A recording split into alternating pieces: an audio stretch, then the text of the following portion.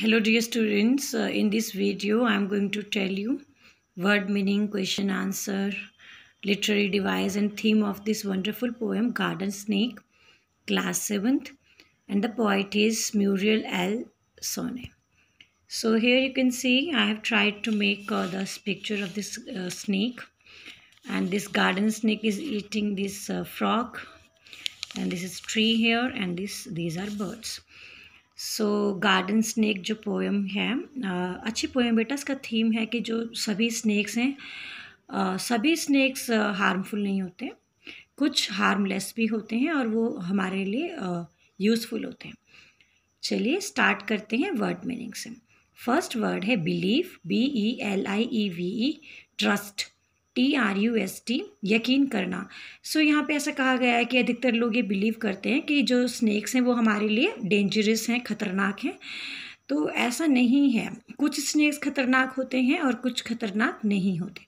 Harmless not harmful हानि रहित सो so, यहाँ पे स्नैक्स की बात कर रहे हैं कि काफ़ी सारे स्नैक्स ऐसे हैं जो हार्मलेस हैं जो हमें नुकसान नहीं पहुँचाते।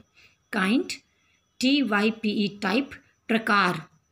तो यहाँ पे स्नैक्स के काफ़ी प्रकार होते हैं, काफ़ी टाइप होते हैं। रैटल स्नैक सुना होगा कोबरा सुना होगा आपने पाइथन सुने सब काफ़ी सारे स्नैक्स होते हैं। उनकी वैरायटी होती है काइंड होता है टाइप होता है या प्रकार कहिए wiggle wriggle W R I double G L इसमें डब्ल्यू साइलेंट है रीगल बोलना है।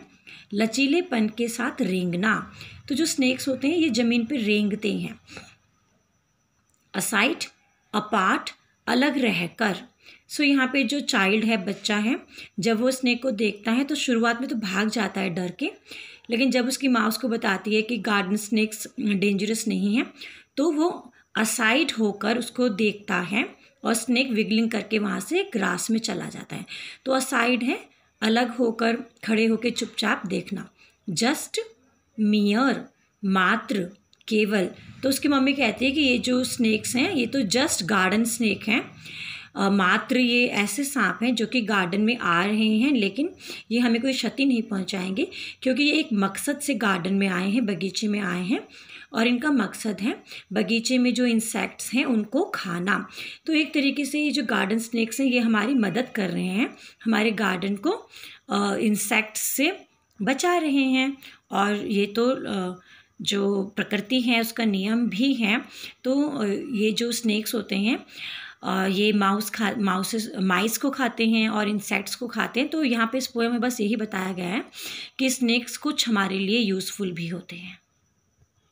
पोएम की राइम स्कीम की बात करेंगे A A B B C C D D rhyming words हैं अवे से good foot grass pass mistake snake if I talk about the theme of the poem so इस poem की theme है this poem shows that snacks are useful as they eat insects and are necessary part of nature so ये poem की theme है कि जो snacks हैं ये हमारे लिए यूज़फुल होते हैं कुछ प्रकार के स्नैक्स और ये इंसेक्ट्स uh, को खाते हैं और प्रकृति का एक uh, अहम हिस्सा भी हैं लिटरेरी डिवाइस अलंकार की बात करें तो ऑलिट्रेशन जिसे हिंदी में आप अनुप्रास कहते हैं, सॉ और स्नेक, इसमें जो एस साउंड है वो रिपीट हो रहा है।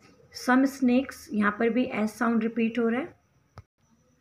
पर्सोनिफिकेशन मानवीयकरण अलंकार जिसे कहते हैं हिंदी में हिज फ़ूड ही विगल्स सो यहाँ पे जो स्नेक है उसको पर्सोनिफाई किया गया है दैट इज़ वाई पर्सोनिफिकेशन है so now we talk about question answer हमें उस लाइन को बताना है जो पोएम में ये दिखाती हैं कि बच्चा स्नेक से डरता था या वो डरा हुआ था।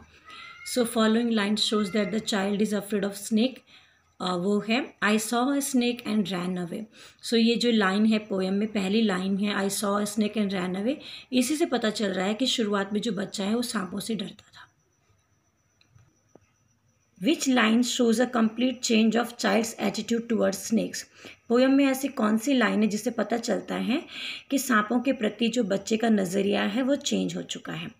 So following line shows change in child's attitude towards snacks और वो लाइन है I stand aside and watch him pass तो ये लाइन बताती हैं कि एंड में जो बच्चा है उसका नज़रिया सांप के प्रति चेंज हो चुका है, अब वो सांपों से नहीं डरता है। But mother says that that kind is good what is mother referring to जो मम्मी यहाँ पे दैट वर्ड यूज़ कर रही है, ये किस चीज़ के लिए यूज़ कर रही है? The mother is referring to garden snacks mummy बात कर रही है यहाँ पर गार्डन स्नैक्स की। जो गार्डन स्नैक्स हैं वो हार्मलेस हैं। ये मम्मी बता रही हैं बच्चे को। हमें पोएम से वो वर्ड बताना है जिससे हमें पता चलता है स्नैक्स की मूवमेंट के बारे में।